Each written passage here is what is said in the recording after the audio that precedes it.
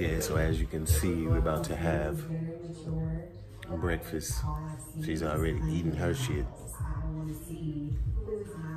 And the meal, the meal misses over there. No meal misses.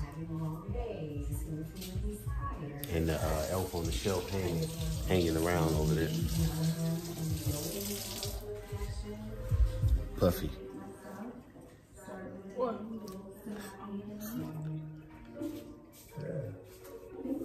a sandwich together.